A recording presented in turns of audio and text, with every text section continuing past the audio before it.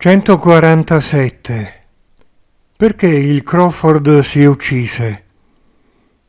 Commento.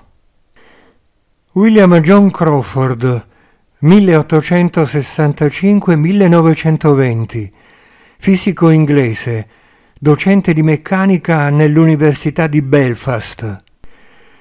Dal 1917 al 1920 condusse esperimenti sui fenomeni fisici della medium Goliga. Voleva stabilire, ovviamente con la mente, alcune leggi della paranormalità fisica. Il Crawford notò che l'emissione di ectoplasma provocava una perdita di peso nello strumento, le cui carni si afflosciavano. Tale perdita avveniva anche negli astanti. Per qualche tempo le esperienze del Crawford furono considerate definitive. Poi altri sperimentatori con altri strumenti ebbero risultati completamente diversi.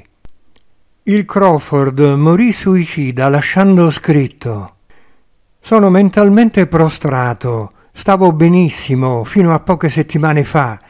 Non è stato a causa del lavoro psichico. Mi piaceva moltissimo.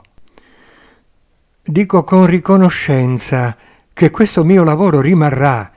È stato condotto in modo troppo completo per lasciare adito a scappatoie materialistiche.